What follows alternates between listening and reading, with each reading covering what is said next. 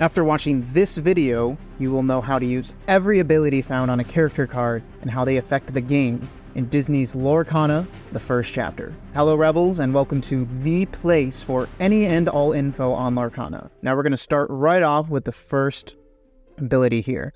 Now we have our uh, Amber, kind and gentle, or gentle and kind Cinderella. There's this little weird floating thing there. I don't remember that from the movie, but it's also been so long since I've seen it. Uh, but the important thing here we have is her ability, Singer 5. Now, essentially what Singer allows a character to do is to sing a song at a higher cost than their own, as determined by the number in the ability. Now, since she is Singer 5, she could sing a song that is a cost of 5 or lower uh, by turning her sideways or exerting her instead of 4 like her number would normally allow her to do. Now, the next ability we have here is Challenger. For Challenger, our first up we got our classic steel uh, forceful duelist Captain Hook. This is a staple card to have in any steel deck for early game plays. And one of the main reasons why is because of his ability, Challenger. Now, uh, Challenger allows you to deal extra damage when challenging, but this does not affect damage when being challenged.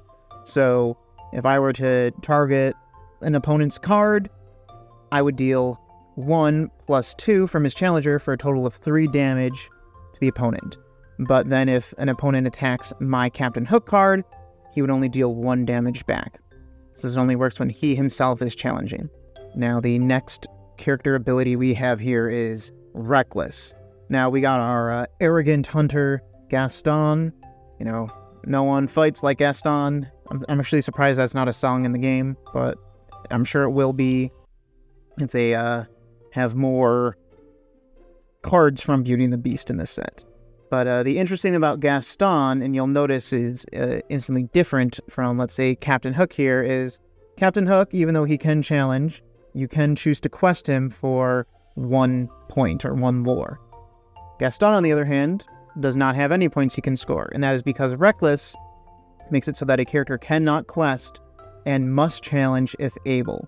So it's not a you can just choose not to use him when he's up there. If there is a target card or an opponent's card that you can target uh, in a challenge, you have to do it with him. So it can be quite useful depending on uh, if you want to put a card out there and deal with uh, an opponent's card that's kind of absorbing quite a bit of damage. Uh, and you don't have to worry about him missing out on points that he might be questing for. Now, the next ability that we're going to talk about, and a, a pretty good one, is Bodyguard. Now, we have our true hero Hercules here, and it's uh, actually kind of cool because if you watch the movie, you'll know this is the outfit that uh, he's getting painted on at about the halfway part with uh, the Scar cameo, uh, you could say of sorts, uh, which is kind of like the cape that he's wearing there. And another cool little detail is he has the steel symbol on his shield there, uh, which is, you know, the color card that he is. Now, what Bodyguard does is when an opponent challenges one of your characters, they must target the bodyguard first. And they uh, have to target the bodyguard if they're exerted. They can't do it if you don't do anything with your bodyguard. Uh, but that's why, specifically for bodyguards, when you play them, you can have them start exerted sideways. So that way they can start protecting your other characters right from the get go. Now, the next character ability that we're going to talk about is Shift. Now we have a Powers Unleashed Genie. Uh, little cool artwork here. And something to know about Shift is that it is found, uh, only going to be found so far on Floodborn characters, as that is their kind of unique ability when it comes to like the lore of the game itself. Now, what Shift allows you to do is, instead of having to pay 8 ink to play this card, Let's say that this Hercules is a different genie card that I have in play. I can instead pay 6 to shift him on top of that card. Now, you'll keep any damage the previous card had, so if my previous genie had 2 damage on him, this genie would as well.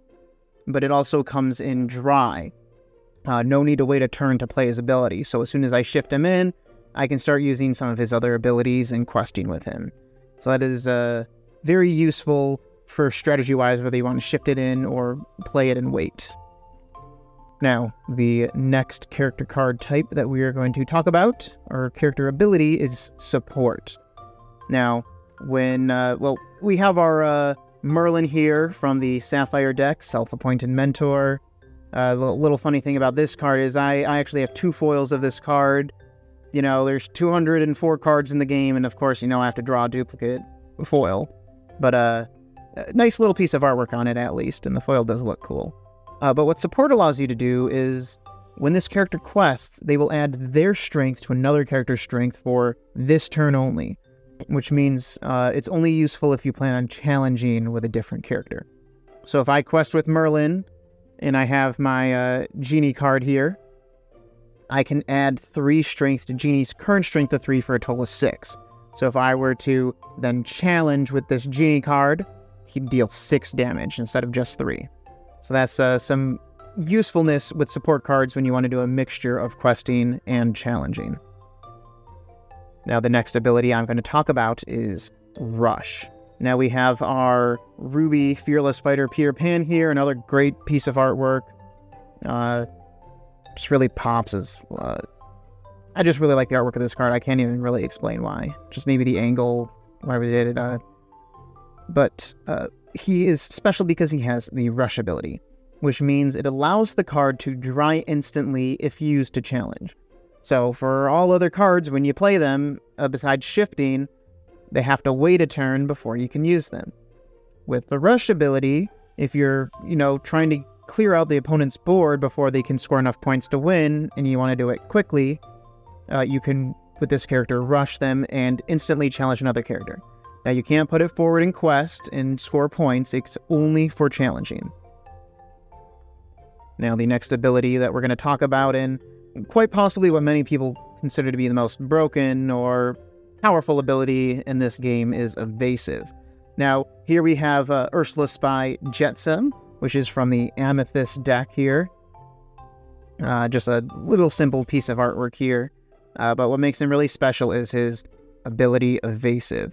Now, what evasive means is that the card can only be challenged by other cards that have the evasive ability.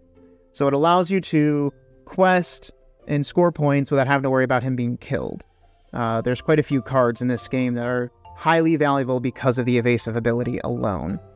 And something to note for evasive, though, is while it's very difficult to challenge the card, any card that targets a card for damage, like Fire the Cannons, uh, can still target and deal damage to him. Now, the last card type that we're going to talk about here is Ward. Now, for Ward, it's kind of the opposite of Evasive. A character who is warded can only be targeted by a challenge. So any card like Fire the Cannons cannot target Donald Duck. And that's everything you will find on every uh, character card in Disney's Lorcana the First Chapter. Now, if you're looking for other videos on Lorcana, please check out the playlist or video here. And until next time, have fun and game on.